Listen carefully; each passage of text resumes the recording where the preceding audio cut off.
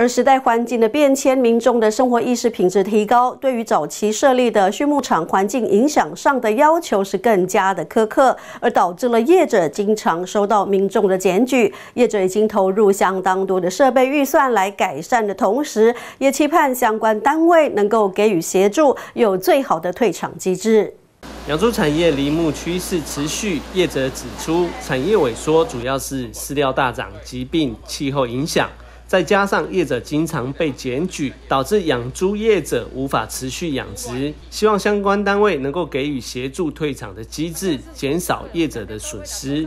又民众的压力，所以说我们如果我可以离场，我真的要离场。有有有政策上的离牧，我真的要离离牧。说实在话，真的是到最后，真的这个农业。只有农业老化，年轻要进来的越来越少，粮食危机绝对会发生。这一次的定期大会，我会在大会提出来，哦，想请我们政府来协助，包括农委会也好，包括我们县政府农业处来协助他，看怎么把它改善我们这个。它的设备，如果它的设备它没有办法改善的话，那我们是不是他也有愿意要离场？我们来协助他怎么离场？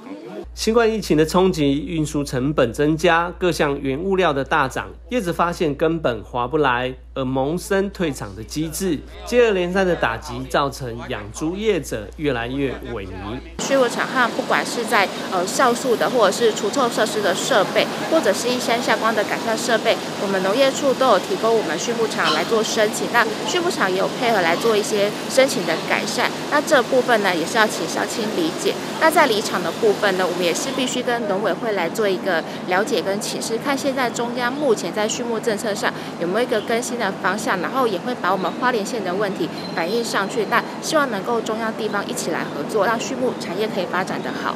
农业处指出，该养殖区域目前已有三户倾向停养或是迁移。由于养殖业者已投入相当多的设备预算，减少环境的污染，仍然无法达到环境气味完全的抑制。因此，希望相关单位能够给予协助，有最好的退场机制来解套。记者林杰，花莲市采访报道。